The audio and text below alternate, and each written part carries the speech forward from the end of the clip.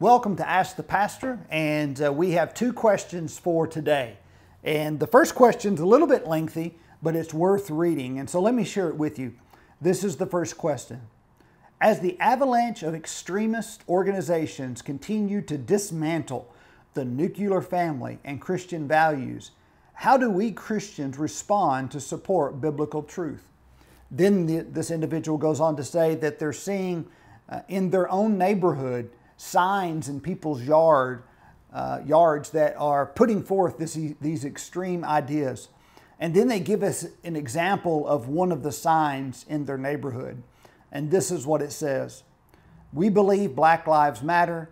No human is, is illegal. Love is love. Women, women's rights are human rights. Science is real. Water is life. Injustice anywhere is a threat to justice everywhere.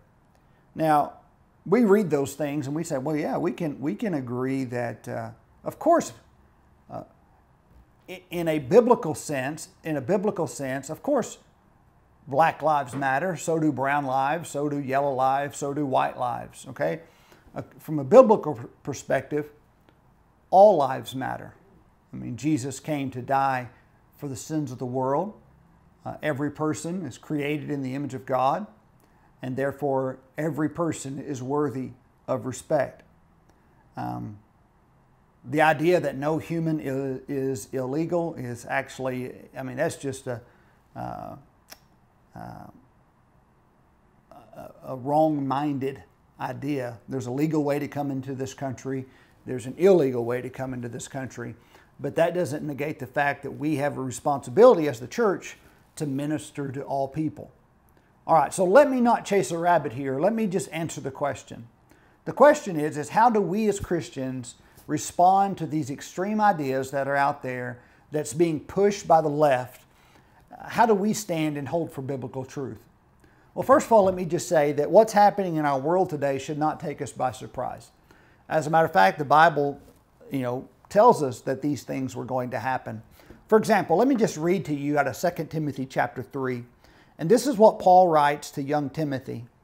He says, But understand this, that in the last days there will come times of difficulty.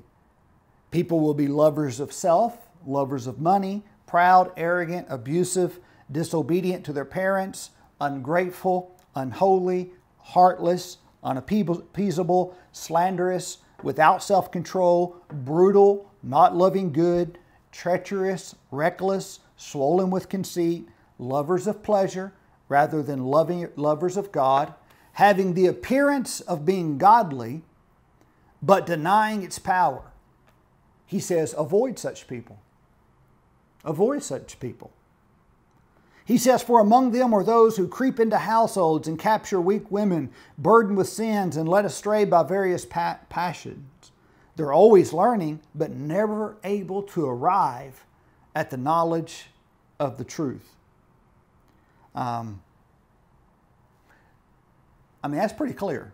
I mean, a lot of those extreme ideas that we're talking about are actually indicated here in this passage of Scripture. And so, first of all, Paul told Timothy, he says, man, avoid such people. All right? The best thing you can do is avoid them. All right? But then there's also, you know, but then there's the question of, okay, uh, then how do we stand for biblical truth? I understand that I'm not to be a part of what they're doing. Uh, I'm not to get involved. But yet, we all have responsibility to, to stand for biblical truth. So uh, let me once again read from 2 Timothy, and this is what Paul says to, these, to, to Timothy. He says, uh, For there's a time coming when people will not endure sound teaching. Okay, we're in that time now. But having itching ears, they will accumulate for themselves teachers to suit their own desires, their own passions. Okay, uh, that's what's happening with these extremist ideas. They will turn away from listening to the truth and they will wander off into myths. Okay? So that's we, we see that in a lot of these leftist ideas that are being put forth in our day. They've left the truth and they're following myths. But he says this, and this is how we're going to answer your question.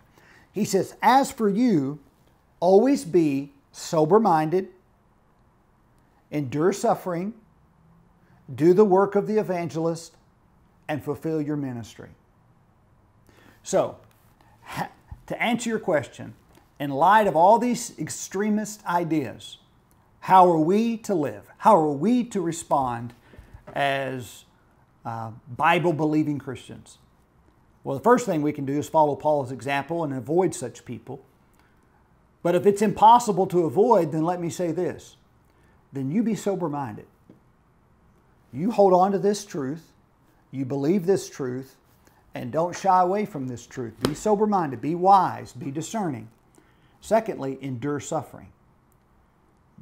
Because we will endure suffering if we stand for truth. Thirdly, do the work of an evangelist. In other words, try to win as many people to the Lord as you can. Share the gospel. And then uh, the fourth thing he says is fulfill your ministry. You persevere to the end. So that's my answer to you as your pastor. You know what? There are extremist ideas out there being put forward by the left. I believe that they're only going to increase.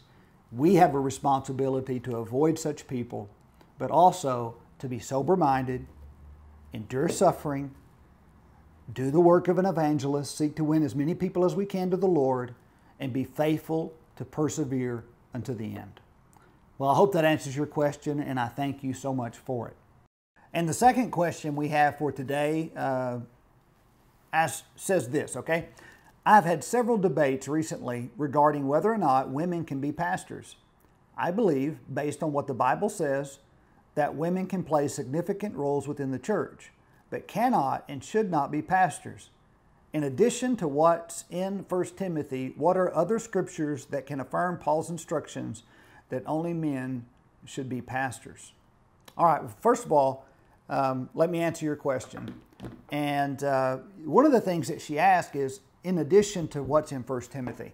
Well, I'm going to answer all your questions. I'm, I'm going to answer your question out of 1 Timothy because I believe that that's the clearest place in the Bible that we see that the role of the pastor is reserved for a man. And so I'm going to stay in 1 Timothy. Uh, I hope that's all right in answering your question. But really, the issue here is between two uh, theological uh, understandings. One view is what is known as egalitarianism. And egalitarianism, uh, egalitarianism teaches that, that uh, men and women are not only equal in essence, but they're equal in the roles that, uh, that they carry out in the church. In other words, a woman has the right, according to egalitarianism, a woman has the right to function in the role of a pastor just like a man. All right? The other view is known as complementarianism. Complementarianism teaches that, yes, of course, men and women are equal in essence, but they do have uh, distinct role differences within the church. Um, uh, a complementarianist says that women are significant, they have a valuable role within the church, but clearly, what is taught in the Bible that the role of the pastor is reserved for a man. Okay? I'm a complementarianist. I believe that women are equal to men in essence. Um, I believe that they are a valuable part of the church. They play a significant role, but the role of the pastor is reserved for a man, not for a woman. Of course, those who believe in egalitarianism would argue, but I believe that the support for complementarianism is very strong in the Bible. So uh, let me give you a couple of scripture references out of 1 Timothy. First of all, in 1 Timothy 2:12, Paul writes this: I do not permit a woman to teach or to exercise authority over a man. Rather, she is to remain quiet. And again, this is this is not referring to the woman's role in ministry. I mean, of course, she has a significant role in ministry, a significant role to play in the life of the church. But when it comes to exercising authority, when it comes to the, you know, the preaching and the teaching of the role, uh, the teaching of the word, uh, that is reserved for a male. It doesn't mean that women can't teach women or preach to women, but the role of pastoring and preaching um, is reserved for um, a male. Okay, I mean that's clear. He says, "I do not allow women to exercise authority over a man." especially in light of you know especially in light of your question pastoring For a woman to pastor a church means that she's exercising authority over a man, unless it's an all woman church. uh, but I haven't seen any of those. So if a woman pastors, she's disobeying this passage. She's outside of God's will. Because if she's pastoring, then she's exercising authority, which the Word of God does not allow. Okay? Uh, in in um, in uh, 1 Timothy chapter 3, uh, Paul gives us the qualifications for pastor. And he says that the, the pastor, an overseer, must be above reproach, the husband of one wife.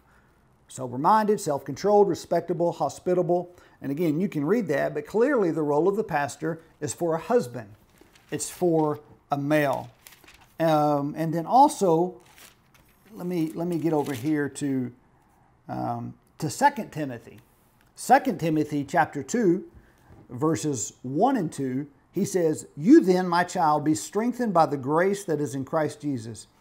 And what you have heard from me in the presence of many witnesses, entrust to faithful men who will be able to teach others.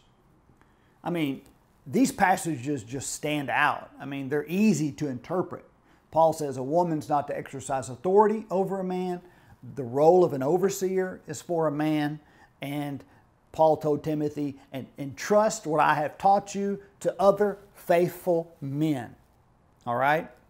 And so the role of a pastor, according to the clear teaching of God's Word, is reserved for a man. And so, therefore, for a woman to pastor a church is to function outside of the will of God. And so let me be clear women are equal to men in their essence. But according to the Bible, there is a difference in the roles that they play within the church. And uh, this is not to devalue women, but it's to encourage women to have value in the role that God has given them and be content with that role.